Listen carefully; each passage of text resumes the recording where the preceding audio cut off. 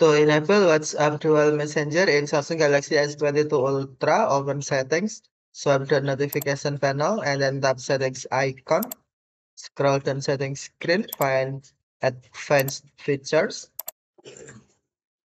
And then tap advanced features. Scroll down the screen, find Dual Messenger, and then tap Dual Messenger. And then on available apps, tap WhatsApp switch until blue to install WhatsApp or enable WhatsApp Dual Messenger. install a second copy of WhatsApp.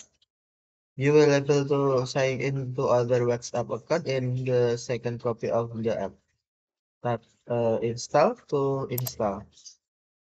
And then you can read uh, disclaimer and then tap confirm turning on dual messenger. No, dual messenger was uh. Okay, thank you for watching. Have a nice day.